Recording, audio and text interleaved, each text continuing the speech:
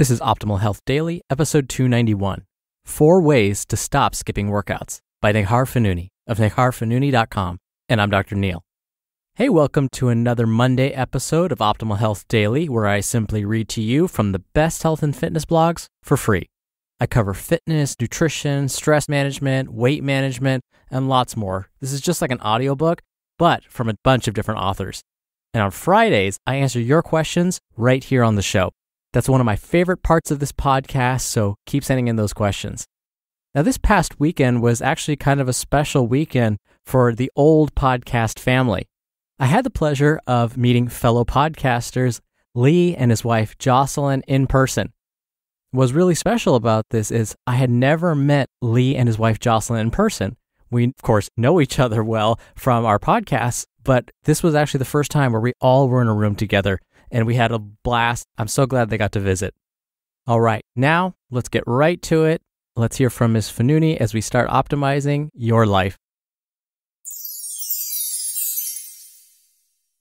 Four Ways to Stop Skipping Workouts by Neghar Fonooni of negharfonooni.com. Confession.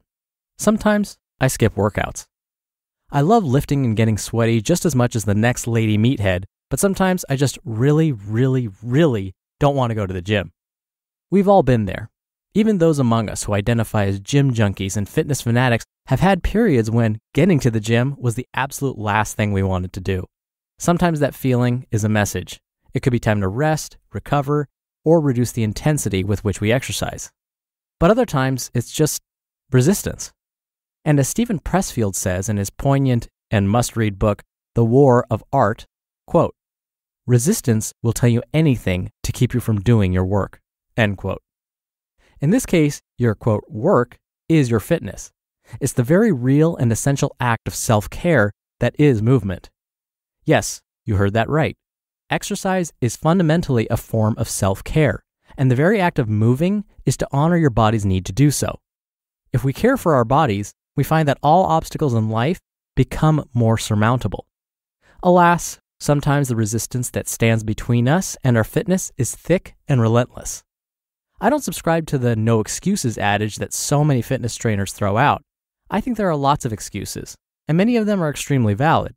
But sometimes it's not a matter of excuses at all, just a matter of fighting resistance, making things more realistic, and removing obstacles that stand in the way of us and our workouts. Thankfully, resistance can be overcome. What follows are four simple strategies to assist you in doing so. Overcoming fitness resistance, aka how to get your booty to the gym. Accountability. The oldest tool in the anti resistance toolbox is also one of the most effective. Ask other people to hold you accountable. This can be done by signing up for a class that you're expected to attend, having a gym buddy, or simply asking a loved one to hold you to your intentions.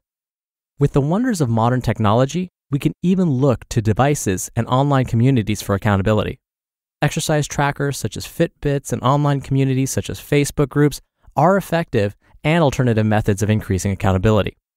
The base rationale is this if you say you're going to do something and other people are counting on you to do it, you're more likely to actually do it. The two times I went to the gym last week were both enforced by my husband after asking him to make me go, no matter how much I resisted. It's not necessarily a long term strategy, but it works in a pinch and is a fantastic way to get started. The path of least resistance. If resistance is the issue, it makes sense to take the path that involves as little of it as possible.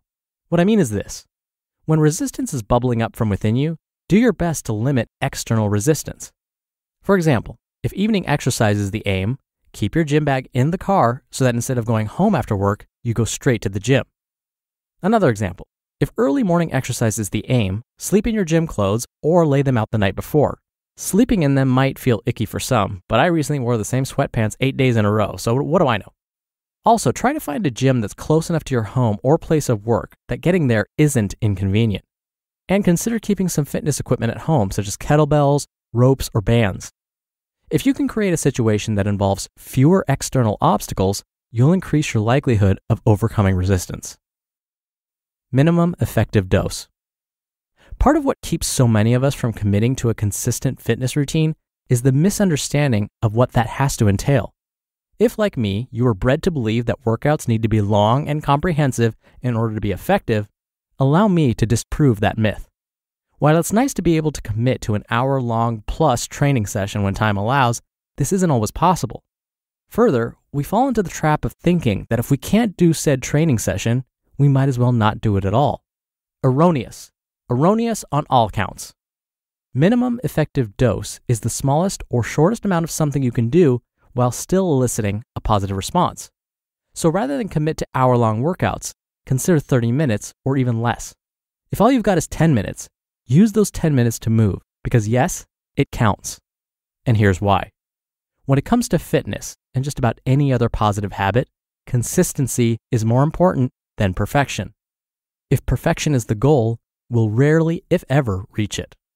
By setting ourselves up to only go to the gym if we have plenty of time, we're setting ourselves up for failure. What happens when we're slammed with a project, or up all night with an infant or sick kiddo, or traveling and pressed for time? If we set out to move consistently, regardless of the length of the workouts, we'll be more likely to create a sustainable, long term habit. Along the same vein, consider that not every workout needs to be quote unquote hardcore. A brisk walk or just 15 minutes of yoga can be highly effective when consistency is the intention, because the more consistently you move, the more movement becomes your norm. Reframe your reasons. As a recovering dieter and obsessive exerciser, I understand the struggle to conform to societal pressures and strive for an ideal body. Even after healing my body image issues, I found myself over identifying with my athleticism and putting a great deal of pressure on myself to quote unquote perform. Unless we're actually competing, and even then, to some extent, this pressure is unnecessary. When we stress and obsess over the reasons behind our pursuit of fitness, it can often be difficult to step into a space of ease and adaptability. We wind up making things feel very serious, and the process can bump up against a mountain of resistance.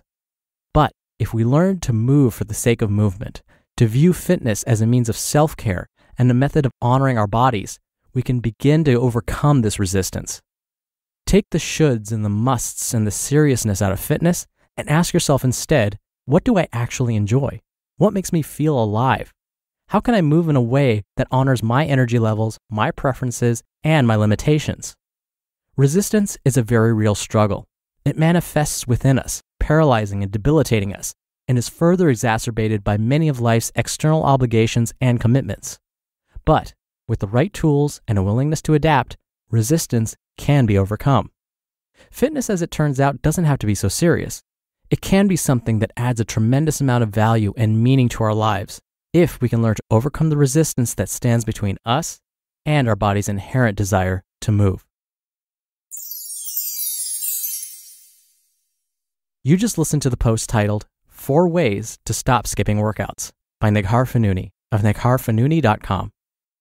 I love that Ms. Fonooni mentioned exercise as self care. Not surprisingly, one of the most common excuses I hear from folks when they tell me they don't exercise is, I don't have enough time. So I change the subject. I ask them, how long does it take them to get ready in the morning, to shower, brush their teeth, fix their hair, do their makeup, all of that stuff? They usually say, oh, about an hour, maybe longer in some cases. And I say, so that is self care, right? You would agree that that's self care? They'd say, yeah, of course. And I'd say, so what is exercise?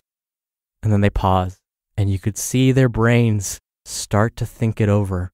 You could see it in their eyes. They start to light up and they go, Oh, I see what you're saying. Yes, exercise is self care too. And it's probably one of the best self care methods we have. This is because exercise positively affects pretty much every cell in the body. It is one of the most powerful forms of self care available to us. And I've said this before I'm one of those who has had the mindset where if I can't go for an hour to the gym today, I'm not going to go at all. What's the point? It's not going to do me any good. I've had to get over that. So I'm with you if you're like that. I get it. But no joke, just the other day, I was feeling that. I was feeling a little bit tired, but I realized it was probably more laziness than exhaustion. So I actually got up and did a seven minute, it was actually seven minutes and 48 seconds. I timed myself, workout, and I felt so good that I did it. I felt great the rest of the day.